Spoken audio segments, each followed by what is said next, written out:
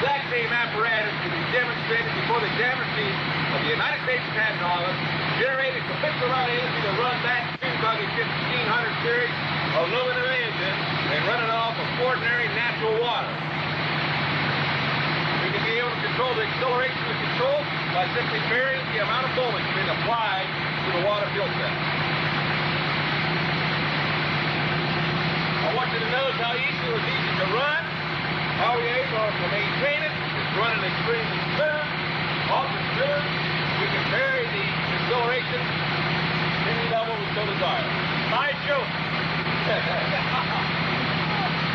Ah, oh, praise the Lord has passed the examination.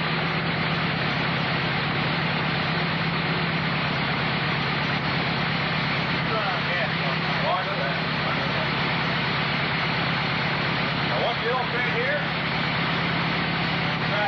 this fuel cell is totally an absolute control. We're maintaining pressure at uh, 13 and three quarter pound pressure.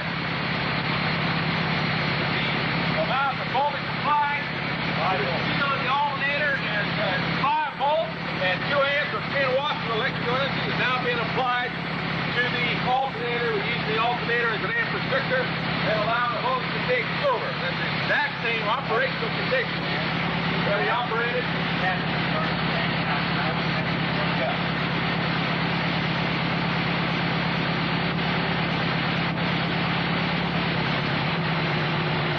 Look at that. Isn't that nice? Now what we have done is we have adjusted the burn rate of hydrogen what we call that of the fossil fuel and doing it in such a that we can lower the temperature of the burning of the hydrogen gas equal to or less than that of gasoline. So we now take the fuel cell and retrofit it directly to any form of existing automobile, automobile engine without any problem at all.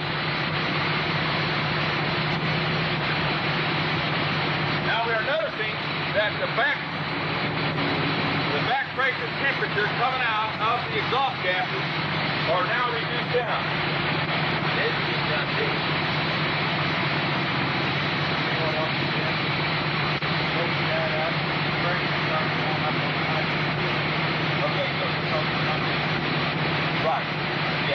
Okay. Well, so you got the back pressure. But hey, that's, that's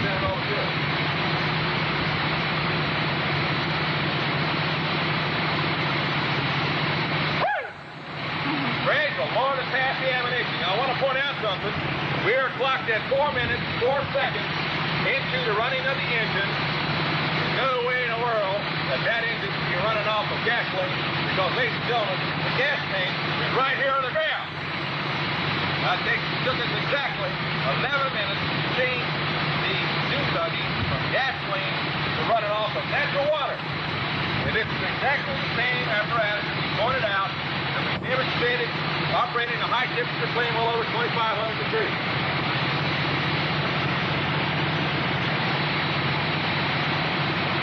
Isn't that something? Huh? Isn't that something? An exciting moment for us to start and run the dune buggy on natural water as required under patent laws.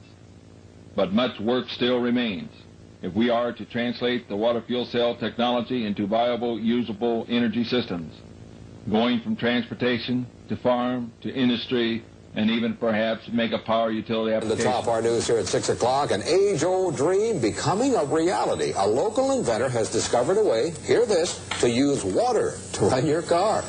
It's a major breakthrough that will no doubt make motorists happy. And as Ralph Robinson explains, the Pentagon is also showing lots of interest in this project. Water has always been considered a precious commodity, but Stan Meyer's invention may make it even more valuable. He has developed what's called a water fuel cell. It has taken the place of his old gas tank. The water fuel cell breaks down water molecules into oxygen and hydrogen. The hydrogen is used to run his dune buggy. I don't care if you use rainwater, well water, city water, ocean water. If you don't have any fresh water, go ahead and use snow. If you don't have any snow available to you, then use salt water because there's no adverse effect to the fuel cell. Meyer started working on this project four years ago. He's not a scientist. He isn't even a chemist. In fact, he never graduated from college. Myers was determined, he says, to design something to protect this country from oil embargoes. And we have calculated that if we take the dune buggy from Los Angeles to New York, we would roughly use 22 gallons of water. The Pentagon flew a lieutenant colonel in last week to look at Meyer's invention. There is talk of possibly using it in the Star Wars defense program and to run army tanks. Myers is currently perfecting a water fuel cell for cars. It will cost about $1,500. He says it won't need any maintenance and you won't have to replace it. It'll be at least two years before the fuel system goes into mass production. The day it happens will be one the fuel industry hates, but it'll put a smile on the face of those who've had to say at one time or another, fill her up. I'm Ralph Robbins. As you can see, many patents have already been received, and many more are forthcoming. To date, over 42 patents have been applied for. Water fuel cell technology being applied to the dune buggy will also be utilized in all areas where energy is needed. Since the water fuel cell technology Okay, I'd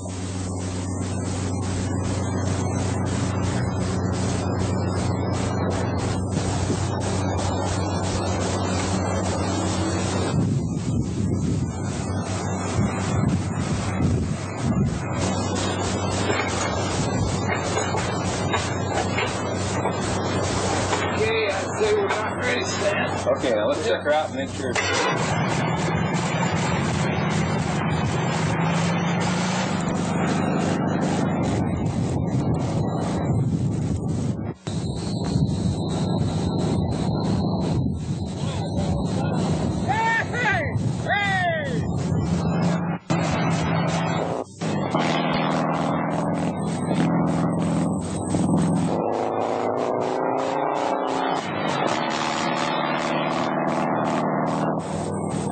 Validated injector systems. Design, build, and test electronic boards for acceleration controls.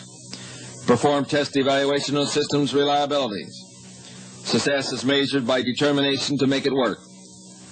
And successful we shall be.